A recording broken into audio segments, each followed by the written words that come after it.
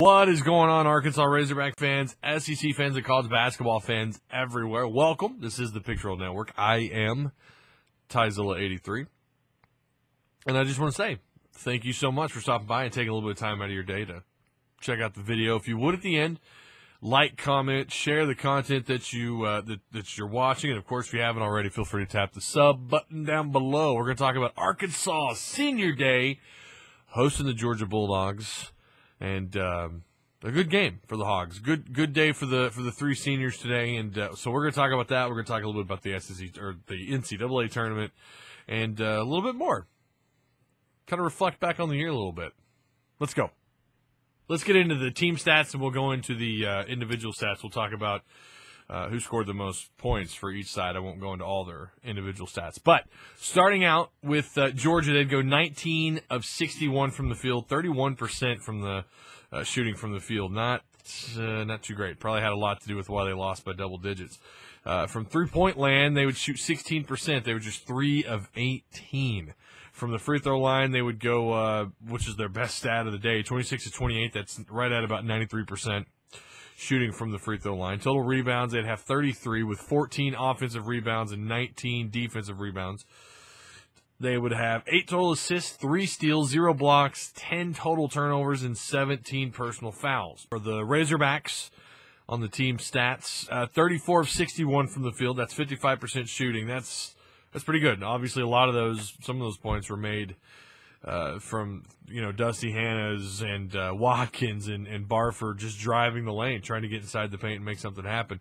But uh, they would shoot so 55% from the field, four of 19 from from beyond the arc, um, 21% three point range shooting. Not very good either. Both teams kind of struggled there. Free throw shots, they'd go 13 of 16, 81% at the free throw line.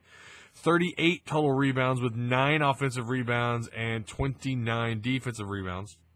They'd have 15 total assists, six steals, seven blocks, 10 total turnovers, just like Georgia, and 22 total personal fouls. The leading scorer for for the Georgia Bulldogs would be J.J. Frazier, 33 minutes, 5 of 15 from the field, 1 of 4 from three-point range. He'd go 13 of 13 at the line. He'd wind up with 24 points. For the Razorbacks, three different guys tied with 15 points. Uh, Kingsley, who had nine rebounds as well, along with two blocks, uh, but he'd have 15. Dusty Hannahs with 15, and uh, Barford with 15 points as well.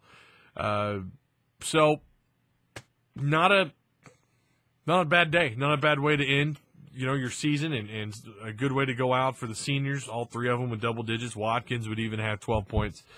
Uh, Watkins looked pretty good trying to drive the lane. I, I, you know, watching him do that. Both, I think he had two drives in the second half. I'd like to see a little bit of more, a little bit more of that. I'd like to see all these guys who can attack the rim do it. You know that that uh, only benefits you if uh, if if you can if you have more than just a couple of guys that can drive the lane. But again, good win for the Hogs. They'd finished 85-67. I don't know if I said the score yet or not, but there it is, 85 to 67. They'd finished 23 and 8 total record and 12 and 6 in, in conference play. Georgia will end the year with uh, 18 and 13 and a 9 and 9 9 and 9 conference uh, record. Georgia's going to have to do some damage in the tournament or in the SEC tournament to make the the dance to get to the to the big dance. I don't know that I see that happening with the injuries. If they can if they can stay out of foul trouble and do what they do, they they could they could surprise people in the SEC tournament. For Arkansas, you know, I said if they lost this one and they were a one and done, I still thought they'd have a shot at going to the NCAA tournament. A pretty decent shot. Now I think they're in. I, I mean, I thought they were in really. Uh, even even with the Florida loss, and had they lost this game and been a one and done, I still think they would have made it. It's comforting. You don't have to re- uh, rely on the SEC tournament like Georgia and a couple other teams. But reflecting on this year really quick, and I'm going to get into the to uh, the the bracket here in just a second where it sits coming into today. Uh, what a crazy roller coaster ride of a season! It just it was just this all year long, kind of similar to uh, to the Arkansas football team. If you're one and done in the tournament, ah, you know, I, just as long as they don't get blown out, I, am you know, I think you'd have to be okay with that, and, and you know, it just gives you more time to prepare for the tournament. But I, you know, I was wrong going into the South Carolina game. I said there's just no way, and you got to remember going into the South Carolina game, they just dropped to uh, Mizzou on the road and Vanderbilt. You know, two teams you should beat. Arkansas realistically is a top three, top four caliber team in the SEC. You don't lose to those teams, and and losing to them back to back, along with some already kind of embarrassing losses when you talk about Mississippi State and the way they got blown out in the second half against Kentucky and.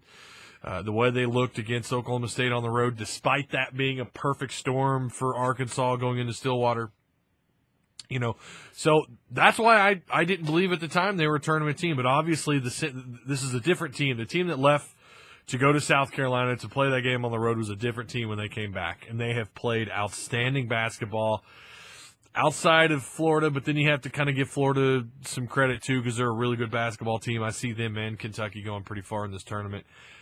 That's going to be the the question and this is still one that I've asked even since uh, you know they they beat South Carolina, and ever since we kind of had the idea that okay they are going to the tournament.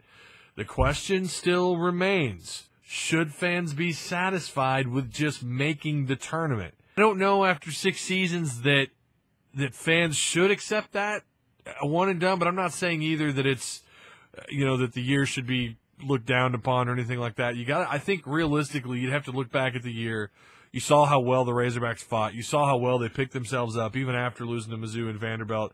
Turn around and, and win against LSU on the road, South Carolina on the road, came back and beat Ole Miss and A and M, and so on and so forth. So you got to tip your cap to that, and I think it's. I'm not. I can't speak for the fans. For me myself, I'm not too excited about a one and done possibility. Not saying that that happens, but I'm asking you, the fans, though, and I want you to comment down below would you be satisfied? And should Razorback fans be satisfied with, with just making the tournament being a one and done? That's at the end of the day my question. So uh, let me know. Again, comment down below. That's it for the video. I'm gonna have I'm gonna try and get you guys more content this week. Getting ready for the SEC tournament, getting ready for the NCAA tournament.